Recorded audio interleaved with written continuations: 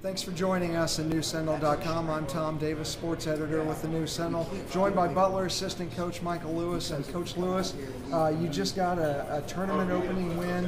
Um, I, I, think I read someplace Butler has 18 wins in the last nine NCAA tournaments. Uh, how do you guys do it uh, year after year after year? I, I, don't know. Obviously, you got you got 10 of them every two years. That's true, but, but still. Um, yeah, we, we, have had it all year with these guys. We've said it all year. We've, we've got a tough group. Um, they've got a nastiness to them.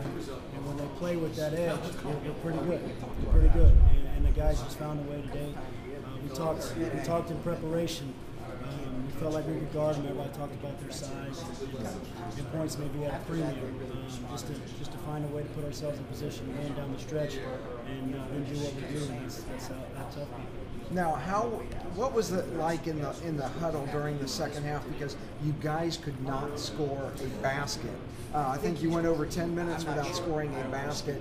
Yet at one point, after that 10 minute stretch, if Kellen hits one of those free throws, which he, I it was Travis, one of the two hits a free throw, you got to lead.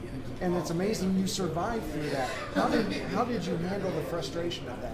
Oh, we didn't really see a lot of frustration from the guys. We was, hey, stay with it on the defensive end, keep getting ourselves opportunities. Uh, the shots would fall. We were getting we were getting some good looks. I know Kellen got a couple to start the second half, wide open looks, uh, just missed it. And uh, we're gonna keep going to them. You know, and, and Rose went down. Kelan gave us a big spark. Um, but they're they're big. They they protect the rim well. Um, we were just able to score enough points. We didn't we didn't see uh, really any frustration just just keep yourselves in, and kind of sold them on the fact that give yourself a chance to win it and before and, now, how will this work? Who had the? Well, you guys divide up the scouts, don't you? Like you do. What do you do exactly? We, we do good. We're more like a football staff. So, um, you know, we, I do offense.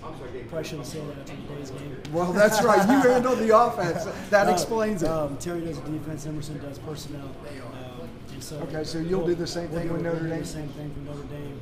I Bruce has got a head start uh, on personnel. We'll show the guys personnel tonight, and uh, T will have the actions down, and we'll try to figure out uh, what matchups we can try to From a fan standpoint, it's fascinating because you just faced one of the nation's best defensive teams. Now you're going to one of the nation's best offensive teams. It was it was the first to 50 uh, today, maybe the first 80.